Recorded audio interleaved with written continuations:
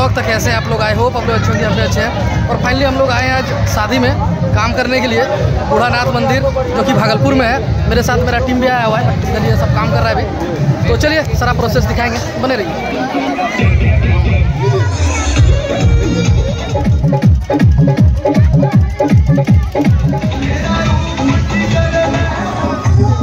चाट plus coffee का भी व्यवस्था है तो फ़िलहाल अभी कॉफ़ी का आनंद ले रहे हैं। चलिए कॉफ़ी है, जब होगा तो आपको दिखाएँगे। भी कंटिन्यू मेरे साथ बने रहिए।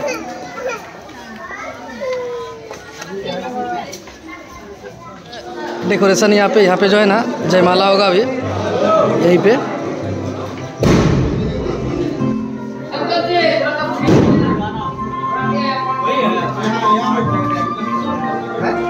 जयमाला का जो कार्यक्रम है ना, वो ख़त्म हो चुका है। इसलिए स्टेज जो है ना, पूरा सुना हो गया है। और देख रहे हैं, एक ही दो लोग सिर्फ़ इधर बचे हुए हैं। और गाइस ये है मंडप और यहाँ पे होगा शादी। अभी खाली है, क्योंकि इधर के लिए रेस्ट मिला गया है, खाना वाना खा के सब है।